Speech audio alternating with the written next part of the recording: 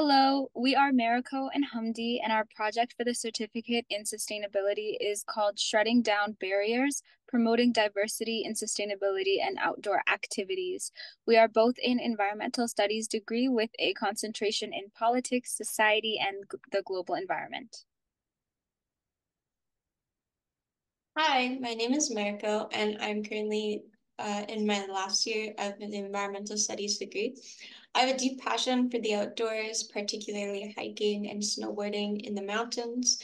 Um, and as a snowboarding instructor for many years, I've developed an appreciation for nature and doing thing outdoor doing things outdoors, especially doing winter activities.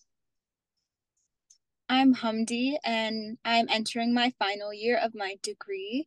I'm deeply passionate about our planet and prioritizing my connection with nature. Living on an acreage allows me to immerse myself in the beauty of the outdoors every day, fostering a strong sense of stewardship and appreciation for the environment. For our project, we investigated the relationship between time spent outdoors and connections to the environment and environmental values, specifically for people identifying as Black, Indigenous, or people of color, um, also known as BIPOC, a population that has historically has experienced barriers to outdoor recreational activities. Our project came about from a discussion we had around recreation in outdoor spaces and the large gap in accessibility for people of color to access these spaces. So we wanted to propose the idea of using an exper- experiential learning approach to put on a free, inclusive outdoor activity for students who identify as BIPOC to build a sense of belonging to the outdoors and build racially and culturally diverse outdoor spaces.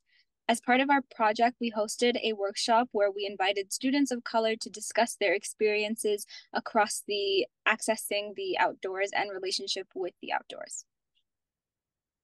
In this presentation, we will discuss our research, findings from our workshop discussion with participants, and our proposal for how to shred down barriers.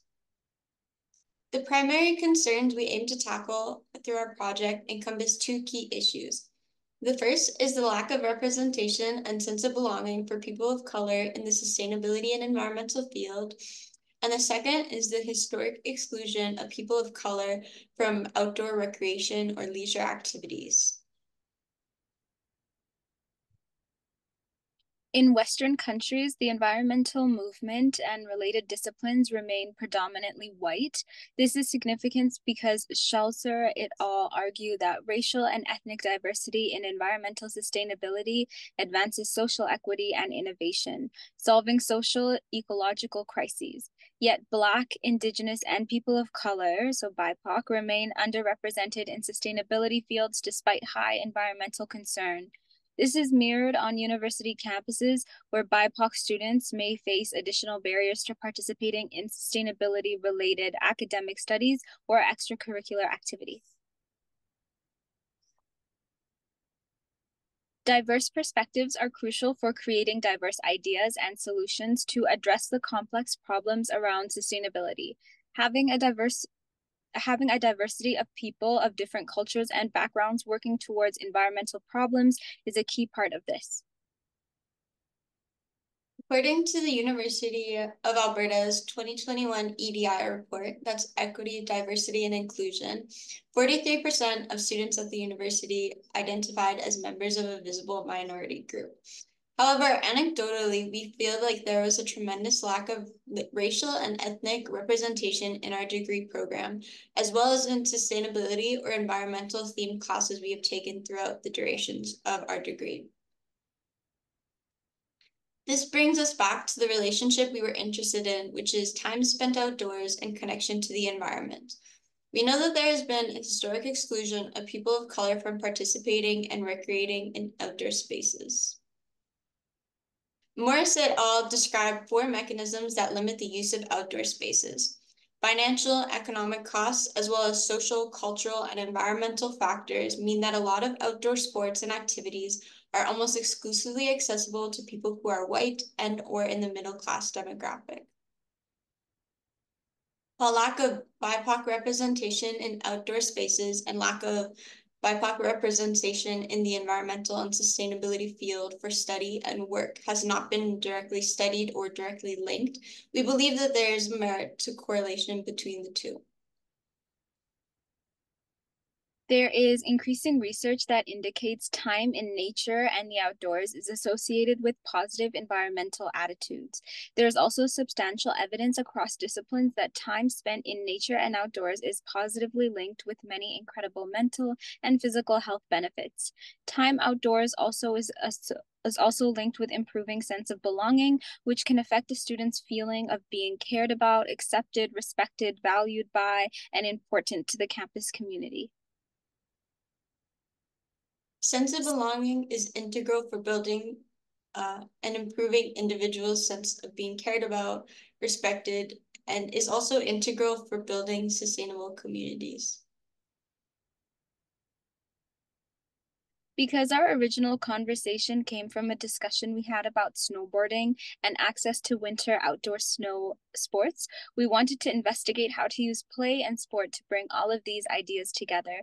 Using play and recreation for experiential learning has been extensively studied and is a great way to learn and grow even as an adult. So how is this all related to sustainability and our sustainability certificate project? The main focus is through the SDGs.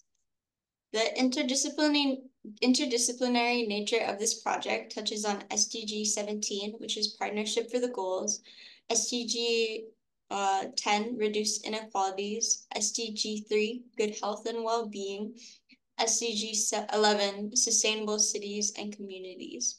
Because of our experiential learning approach, our project is particularly aligned with SDG 4, which is quality education, especially target 4.7, which is to ensure that all learners acquire knowledge and skills needed to promote sustainable development, including through education for sustainable development and sustainable lifestyles. Um, our project also aligns closely with the university's um, 2016 to 2022 campus sustainability plan, which is encouraging exposure to interdisciplinary and transdisciplinary teaching and research connected to sustainability.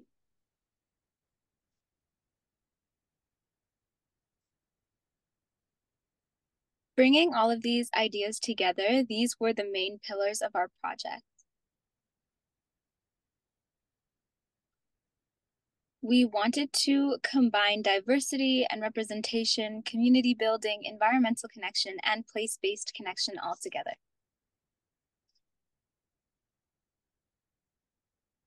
Considering all of these ideas, we put on a workshop where we invited students of color to discuss their experiences accessing the outdoors and relationship with the outdoors, as well as, as their sense of connection and belonging in the sustainability field.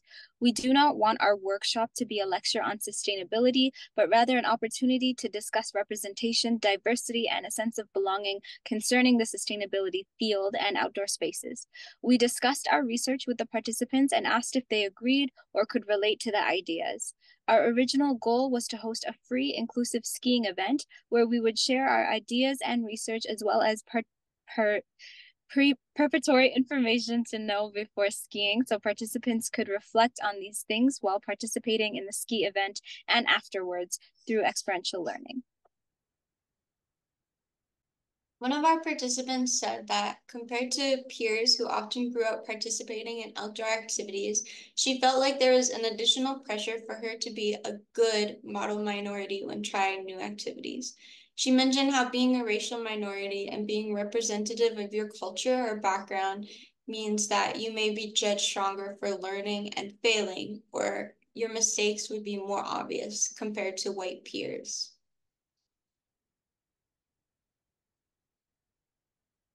Some other points from the workshop discussion with participants are uh, reluctancy to try new outdoor activities alone because they felt they did not belong in a space due to being a visible minority, appreciation for learning about the SDGs, sustainability encompasses environment and social problems, and feelings around what it means to be Canadian in regards to feeling connected to the environment and outdoors.